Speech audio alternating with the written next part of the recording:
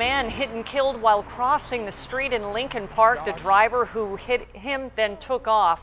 And right now, police are looking for that driver. They blocked off 47th Street and Solola Avenue as they investigated this scene. The victim was taken to the hospital where he was later pronounced dead.